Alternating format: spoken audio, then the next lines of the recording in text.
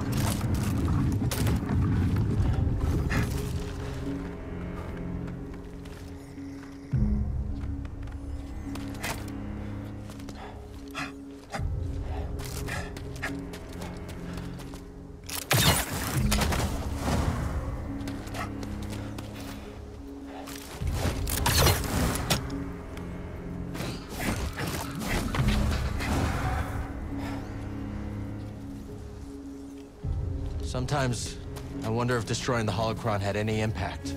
We protected the children on that list. there are others. And the Empire's still hunting them down. Just so. We must protect those we can.